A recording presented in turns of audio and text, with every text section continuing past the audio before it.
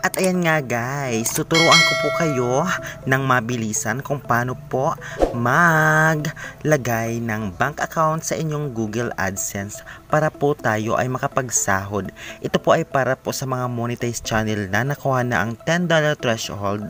Ito po yung um, paraan upang makapagsahod po tayo. Okay guys, um, go lang po tayo sa Chrome.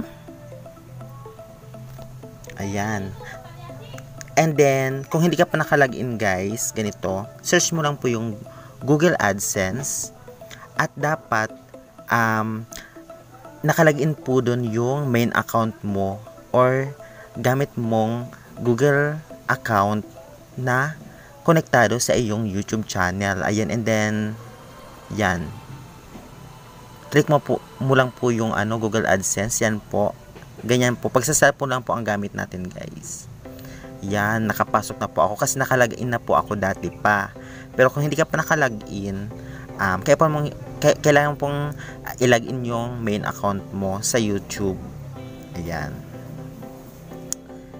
Yan. And then, kung paano ko yung nakuha guys, dito lang po yan sa, right, sa may tatlong guhit guys, dyan, dyan. Tapos sa payments po, yan, sa payments po click mo lang po ang payments is payment information and then yan po yung lalabas guys. Yan.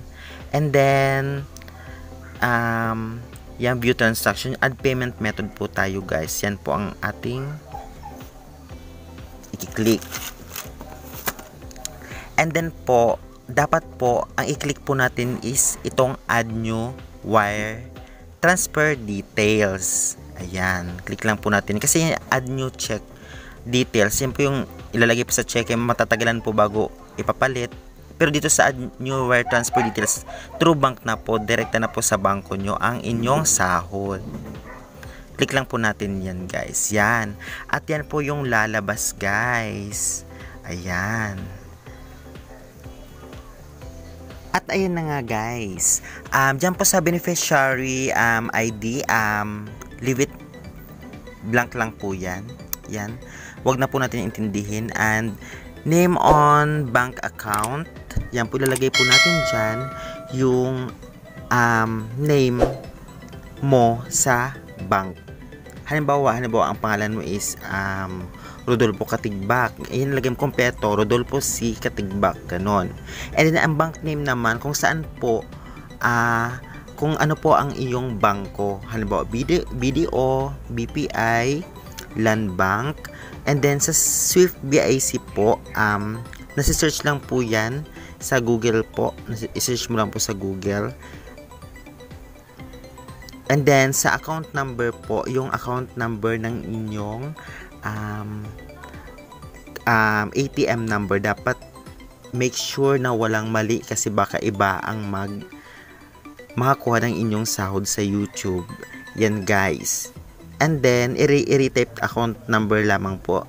Dapat sure ka kung tama dapat yung number mo. And then, set as primary payment. Yan, i-check mo dapat yan. And then, save. Yan lamang po guys. After nyan, tapos na po. Tapos na po. Um, ganun, ganun lang po kadali guys. Spare to bank account. Yan, nakalagay na po siya dyan guys. Hanggang na lang po, hanggang dyan na lang muna po ang ating update guys at uh, tutorial sa araw na ito. Maraming salamat po. Don't forget to like, comment, and subscribe. Palike yung update sa aking mga bagong gawang video. Maraming salamat. Bye